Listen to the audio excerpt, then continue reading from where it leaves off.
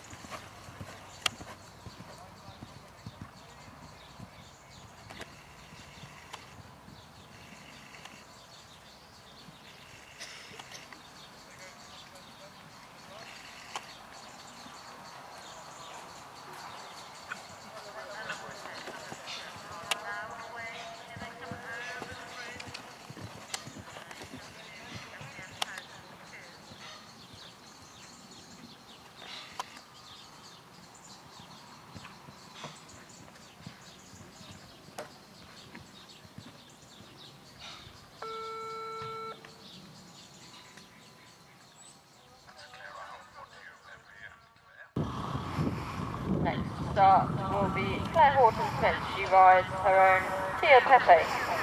32.5 dressage, clear in the show jumping. 1037 from section U. Clear of the Blaze Owl Hole, Master Maverick and Julia Knight Jones.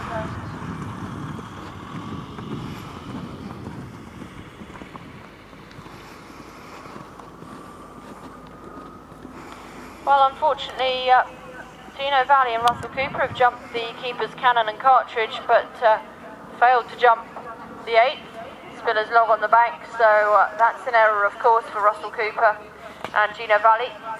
They will be allowed to continue, but uh, it is an elimination for them. Tio Pepe and Clare Horton Smith moving on towards the Tigger's tyres that precede the Protex in Dupont. Master Maverick and uh, Julia Knight Jones clear of the last, so a quick round for them it sounds like. Next to start will be Laura Erith. She rides her own Volcanic Ash.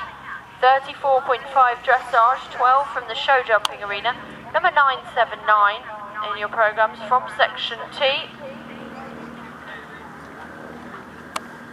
Tio Pepe and Clare Horton Smith away from the horses in sport corner. The horses in sport corner. Gino Valley and Russell Cooper to the last, but uh, they were eliminated for an error, of course. Tio Pepe and Clare Horton Smith jumping the Mulberry Bank complex, whilst next to start will be Belinda Thompson, who rides uh, Sammy Randall, 35 dressage, 12 in the show jumping, 997 in uh, the Even River we Valley can see Water. further than this. We want to do those logs. It was up there. So uh, through the Valley Water, Pepe and Clare Horton Smith jumping the uh, two logs there on the top of that bank. They go on towards the last. goes. Volcano and Laura Erith We can go down now. through uh, and jumping the whole box. Me and Ruben can just, And, um, can't we?